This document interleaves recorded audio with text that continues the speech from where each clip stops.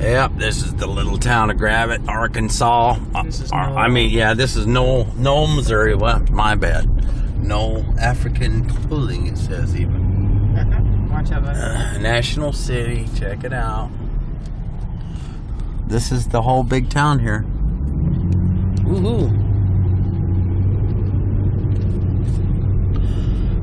wow, look at that. The town police officer. Uh oh, That's a shit. fire thing, I think. No, it is a police officer. Oh, and we have to stop here for the McDonald County R1 School District bus. Check out this cool little house here. It's a f- nice fixer-upper. Move. Um,